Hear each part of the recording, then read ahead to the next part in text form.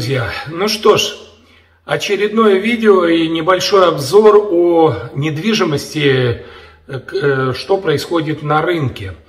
Э, я просматривал в последнее время много э, блогеров, я подписан на некоторые подкасты, наши здесь американские местные, и некоторые прогнозируют падение рынка недвижимости в 2021 году.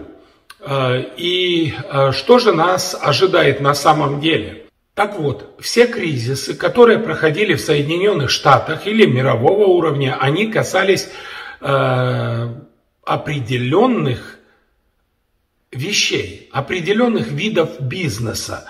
И если в восьмом году был кризис э, недвижимости, и ударила в основном по строительным компаниям, по реал-эстейту, и это очень сильно э, пострадала Америка от этого, а Соединенные Штаты, я имею в виду, так как Канада вообще не пострадала. Во время кризиса у них цены росли. Ну, их правительство приняло другие шаги, другие меры, и а, мимо них прошел этот кризис довольно-таки э, э, свободно, их не коснулось. У нас же были большие перетрубации, перестановки, э, перенаправление потоков э, финансовых и так далее, и так далее. Вот. И этот кризис, который мы уже переживаем, он касается совершенно других э, сфер э, деятельности. И тоже перенаправляются и будут перенаправляться финансовые потоки. Э, будет, в общем, какая-то рокировка бизнесов и так далее.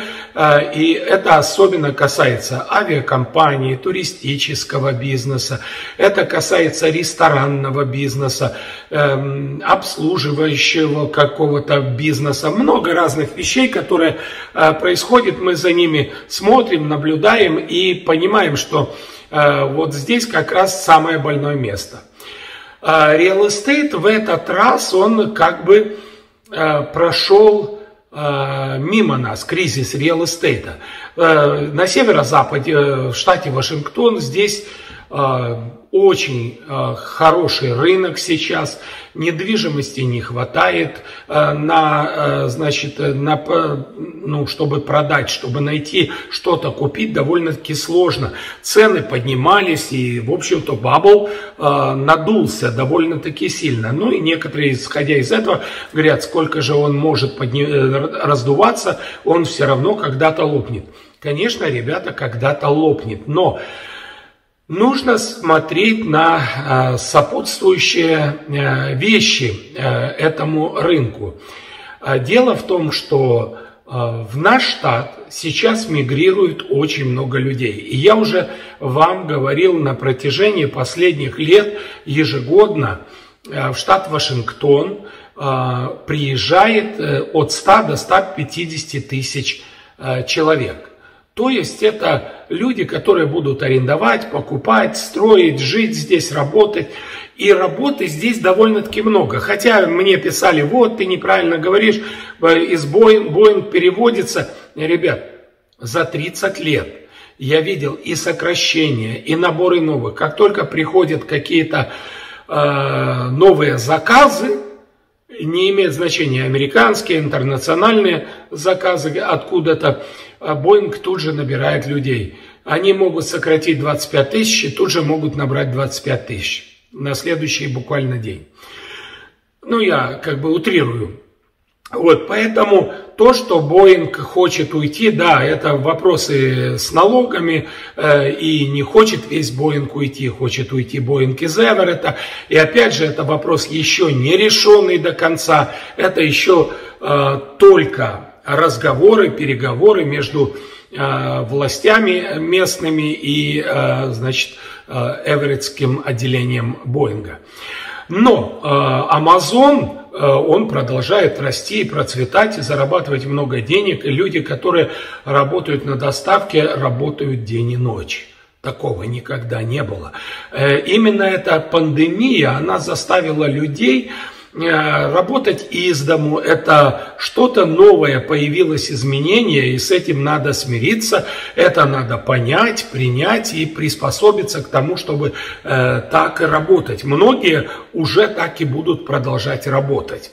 Даже если пандемия закончится, э, увидев выгоду в этом, многие останутся в этом. Люди приучаются заказывать товары, продукты э, по э, телефону, по интернету.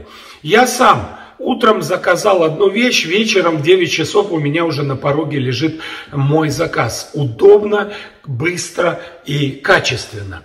Поэтому Amazon здесь растет но вы все слышали, что Amazon переводит из Сиэтла в Белвью и пригороды Белвью на восточную часть э, своих людей. Там по некоторым данным 25 тысяч человек рабочих, по некоторым данным 32 или 33 тысячи. В любом случае, э, проблема здесь возникла э, в Сиэтле не в Белвью, не в каких-то других городах рядом, а именно в Сиэтле. Об этом я поговорю с вами немножко позже. Сейчас, значит, здесь все продолжает работать.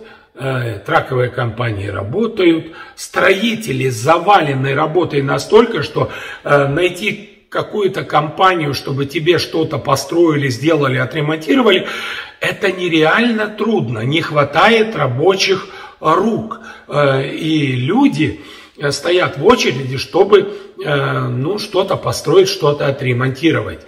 Вот. И домов на рынке, как я говорил, инвентори, так называемых, нехватка.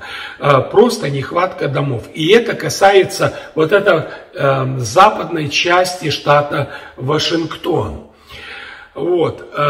Что же э, творится и что же будет в 2021 году? Некоторые говорят, это будет кризис. Ребята, я согласен, кризис будет, когда-нибудь он будет общемировой, как сейчас, когда-нибудь он коснется, может быть, каких-то отдельных отраслей.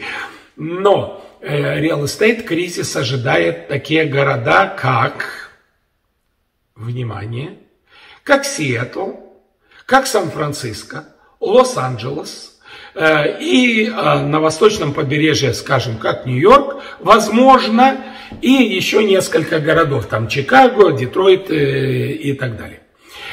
Так почему там будет кризис? Потому что вот предвыборная кампания, которая проходила в Соединенных Штатах, она э, захватила э, экономику этих больших городов. Вот эти Э, выступления, поджоги, демонстрации, драки, которые устраивали э, вот эти организации, которые вы знаете, я их не буду называть. Сейчас уже на YouTube боюсь лишнее слово сказать, а то они сразу начинают э, выключать, требовать что-то там, неправильная информация. То есть они э, первую поправку Конституции уже начали нарушать конкретно.